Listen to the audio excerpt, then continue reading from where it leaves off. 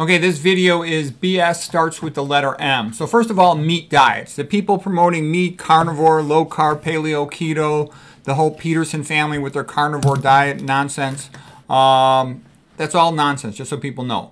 Nonsense gets big money behind it, gets promoted. They want the pros to be confused, okay? Somebody promoting that's not doing you a favor. Okay, then the Mediterranean diet. The Mediterranean diet is big crock of BS. It almost doesn't forbid anything except for processed food. Um, and fast food, but it's full of junk, alcohol, meat, uh, even allows some fried food and olive oil, canola oil. It's it's real high fat and stupid. Okay. Um, and that's promoted by almost every single university hospital, except for the few that promote a keto diet. There's not a single university hospital or famous university uh, doctor that I'm aware of that promotes a low-fat vegan diet. Um, let's see, what else? And even most of the famous so-called vegans are promoting moderate fat diets, which I think is uh, not based on fact. Okay, the next thing is uh, moderation in diets. You know, we talked about this before, but it's hard to just eat a little bit of nuts, for example. Most people are going to eat too many. And, and McDougall talked about this plenty. He said he, he can't, you know, do something just a little bit. You have to be careful with that. Um, Medications, most medications are a joke. They don't really work. Um, they're good for replacement. Like if you need thyroid hormone replacement, you take thyroid hormone and it'll work for that. Okay, there are some examples where it's useful. There are some examples where people tremendously benefit from antibiotics. I've seen people get their life saved by antibiotics. But most medicines are quite overrated. You know, like all these people think they need statins and all this other stuff when they could really just improve their diet. Okay, I see tons of people like that. I, I see smart people that work in the healthcare system that say stupid stuff like that. Okay, that they can't give up cooking oil, you know, and they get mild, they get all kinds of problems. Okay, next thing is meditation.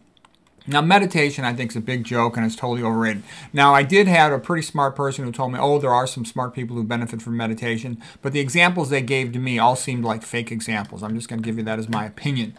Uh, meditation, a big part of where I think of meditation is there was a ruler, Ashok. He like conquered India, you know, back uh, like 500 BC, something like that. And he wanted everybody all of a sudden to convert to Buddhism and to meditate.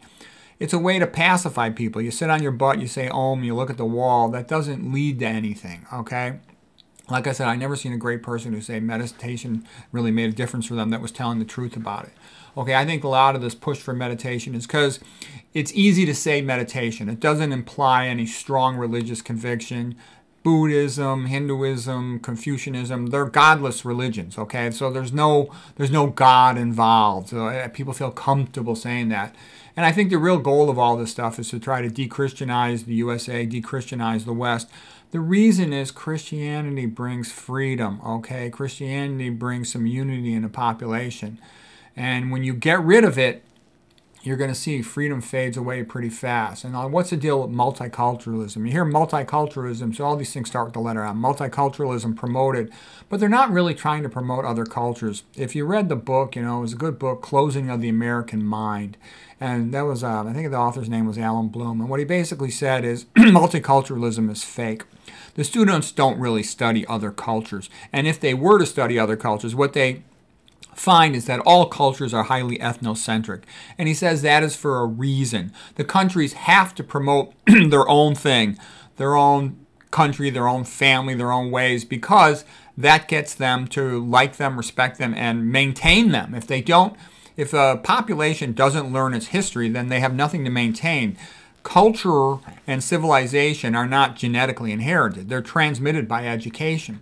So one of the big pushes in the public school system and the university system is to get rid of the true history, the true great history of the United States. The United States founding was the best founding of any country in the history of the world. Uh, the great men, the geniuses that founded the USA and tried to make it a free place, the brave, good men. So that's being sort of covered up and hidden from people so they don't know it. I remember when I was growing up, they said, well, America's a melting pot. Everybody comes here and they become Americans. Teddy Roosevelt, we are all Americans. There is no hyphenated Americans. You know, um, e pluribus unum, out of many we become one. You know, I, I, my father was from Ireland, my mother's from Puerto Rico. I never called myself a Puerto Rican American or an Irish American. I was just an American, okay? And that's what everybody was when I was a kid. Um, and I think what I think is the goal of all this stuff, hyphenating people's name. Like I think they hyphenate the word African Americans to make people feel sorry for them brought here as slaves. You don't see them wanting to go back to Africa, okay? You don't see anybody. See, everybody comes to the United States because they got more opportunity and chance here. At least they did in the past when the American dream was real. Um, what I think is happening is there's a push to disunify the population, to get everybody into little groups and to not have them not get along and to bicker and to kind of argue over, you know, uh, who can get more perks. And I think what's happening is this push for a lack of unity can lead to strife. Strife leads to external authority and imposition of draconian rules. Okay, that's what I see happening and getting worse. We used to say the Pledge of Allegiance in school, one nation under God. Now they force all the schools to be atheistic. And the reason is you can deny the divinity of mankind and thus say that humans are just, you know, atheistic Darwinism, talking primates. You can take away all their rights. That's why it's happening. And I believe the real goal of multiculturalism never was to teach people about other cultures, because I was never encouraged to really learn about any other culture in, in school or in college. Um, you know, I went to Stanford for undergraduate, and we used to have Western Civ was a full one-year class. Okay, we learned all about the ancient Greeks, the ancient Romans, the Middle Ages, etc., the Renaissance. It was, I think, a great class. One of my favorite classes I ever took. I learned a lot. And then um, Jesse Jackson came through um, Stanford with some uh, modernist protesters, and they said, "Hey ho, Western Civ has got to go." But if you get rid of Western civilization, what do you have to replace it? What do you have to replace it? I haven't seen anything viable that's going to unify people, make people happy, and improve their lives. Okay, you know, you know, drag queen story hour is not a good replacement for Western civilization. Okay, I think it's just a temporary thing that's being done to further get rid of the West. Okay, all cultures are not equal. Okay, not all cultures produce great art, produce great literature, produce great architecture, produce great science. Christianity has done that, you know, more than any other culture by far. And the goal of an atheistic system is, again, to push people towards having all their rights denied. Because talking monkeys don't get any rights. If you're, if you are not uh, mankind creating the image of God, therefore part divine, then you go through atheistic Darwinism, and that says all people are simply atheistic Darwinism takes over. Says all people simply are talking primates. They do not have a soul. There is no afterlife. There's nothing special about them. Their life has no meaning. They're simply like farm animals owned by a ruler. And you know, that's where the USA is headed. That's a big step heading towards slavery. People in lousy countries used to go to the USA. You'd always say, well, if our country gets bad, we can go to the USA. Nowadays, all the Western countries are being destroyed. There's nowhere to go to. Where do you go? Um, you know, and then a couple other points. Low-fat vegan is what makes people healthy in comparison to this nonsense about this meat Mediterranean nonsense. Capitalism, laissez-faire, is the only thing that makes a good economy. Uh, Ayn Rand had said this. She was brilliant on economics. Atlas Shrugged was a you know masterpiece of a book. Look at Milton Friedman, another genius, talking about the economy. And it just make it clear. Here's what he says: There is no alternative way so far discovered of improving the lot of ordinary people that can hold a candle to the productive activities that are unleashed by a free enterprise system. The essential notion of a capitalist society is voluntary cooperation. Voluntary cooperation. The essential notion of a socialist society is force. That's what it comes down to. And, and this isn't just Milton Friedman and Ayn Rand. This is anybody who's honest and open and has actually studied the subject. It has to be laissez-faire capitalism. It can't be rigged capitalism. It has to be where you know, everybody has a chance to give something a try, okay?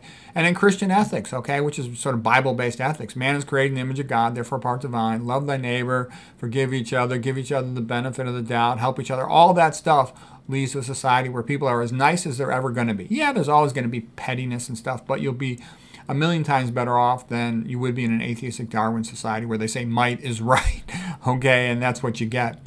And look at the difference in the holidays. Thanksgiving holiday versus autumn break. Christmas holiday is the joy of the world, the light of the world, okay, versus winter break. Winter break is BS, all right? Easter holiday versus spring break. Now, you can scoff at these things, you can mock them, go all you want, but you can't, nobody can come up with a better way to replace them. You know, the Constitution, all the freedoms built into that. You want to throw that in the garbage can?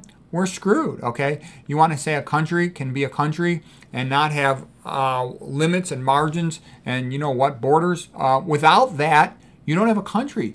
And, you know, the populations become so stupid they can be talked into everything. So I'm sad to see it. I'm sad to see it. America used to be a great country, and now it's turning into a third world crap hole. And there's nowhere to go. You know, we're looking screwed. So I hope things are going to get better.